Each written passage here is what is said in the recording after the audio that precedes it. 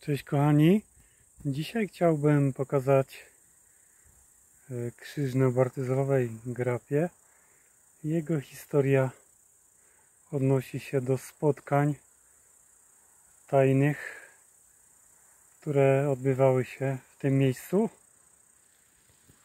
w celu wyzwolenia naszej ojczyzny. Jest taki pamiętowy, pamiątkowy krzyż. Kiedyś był drewniany, Dzisiaj jest ładny metalowy.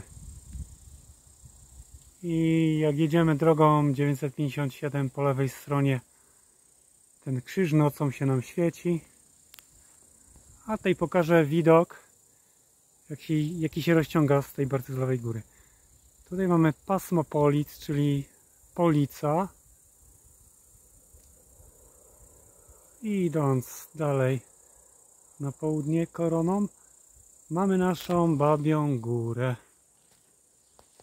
Kochaną babią górę w całej okazałości małą i dużą. No i zrobię takie panoramowanie tego miejsca. Tutaj się msze odbywają. Jest bardzo fajnie, spokojnie. Można sobie przyjechać, zobaczyć. Także zachęcam. Jest i też przygotowany taki ołtarz.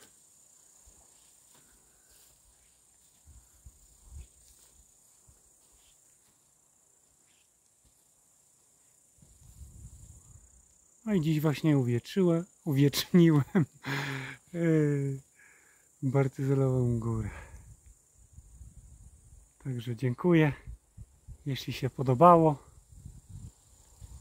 to proszę łapkę do góry i o subskrypcję. Dziękuję.